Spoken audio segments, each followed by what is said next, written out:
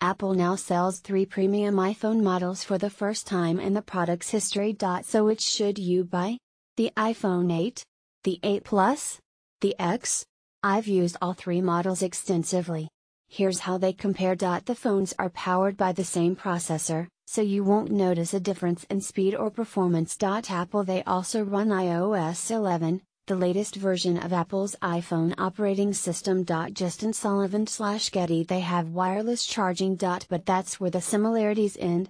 The iPhone 10 has a brand new design with a larger screen. The design of the iPhone 8 hasn't changed much since 2014. Hollis Johnson slash Business Insider The iPhone 10 has a sharper screen that uses OLED technology, it was recently rated the best smartphone display ever made. Source DisplayMate The iPhone 8 has an LCD screen.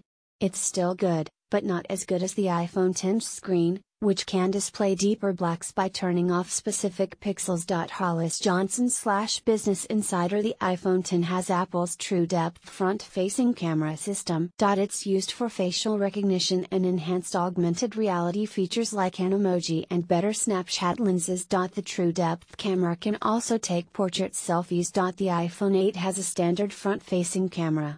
It doesn't have Face ID and can't take portrait selfies. Hollis Johnson slash Business Insider The iPhone 10 doesn't have a home button. You swipe up from the bottom of the screen. The iPhone 8 still has a home button with a Touch ID fingerprint sensor. Hollis Johnson slash Business Insider The iPhone 10's rear cameras take great photos. Both lenses have optical image stabilization, which means it takes better shots in low light environments while minimizing the shaky cam effect. The iPhone 8 has only one camera lens.